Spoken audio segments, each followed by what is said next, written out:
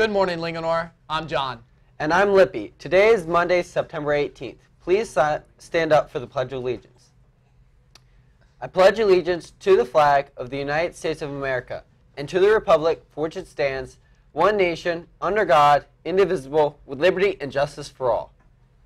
Please, please take a seat, and now here's the news. Today, are today and tomorrow are senior portrait makeup days. Please see Mrs. Shapiro in the front office for any questions. This is the last opportunity to have your senior portrait taken.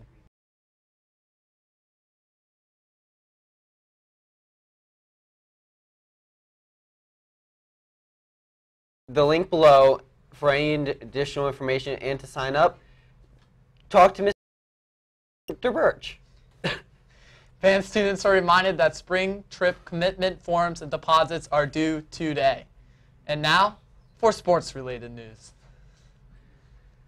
Any girls interested in playing basketball, Open Gym starts tonight at 5 to 6. If you're unable to attend, see Miss Easterday to get a schedule. The Lancer Marching Band competed at Liberty High School on Saturday night and placed first in Group 4. They were also awarded High Percussion and High Color Guard. Congratulations to our Lancer Band on the great first competition of the season.